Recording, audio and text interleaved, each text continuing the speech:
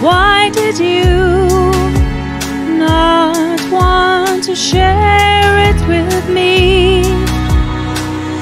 The letters and photos of your new